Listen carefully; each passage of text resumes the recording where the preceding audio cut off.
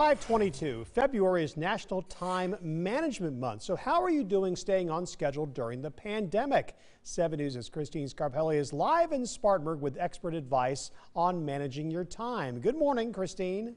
Oh yeah.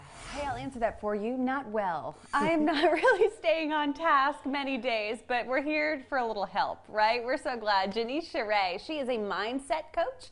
We're here in Spartanburg, and Janice has been giving me such helpful information during the pandemic. I'm sure you've been hearing from quite a few people that have been struggling, even at very least, just with a change in schedule. What are people saying to you?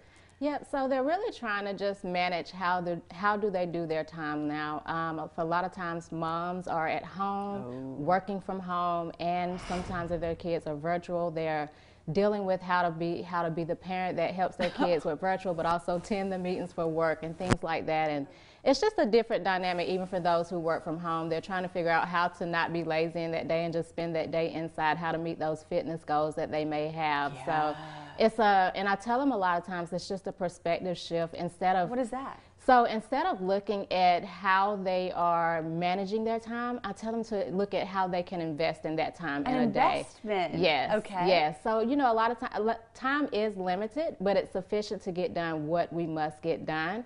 And so I have them make those lists. What are your must get done lists? What are those things that you want to get done? So there's two separate lists, and we need to tackle the musts before the wants. That's okay. exactly right. Listen, Janice is going to teach us how to make this list exactly what it's going to look look like. We're going to be with you all morning, guys. Do not go anywhere. You're going to learn something today. We've got her website here on the screen as well. We will put at WSPA.com. Back to you.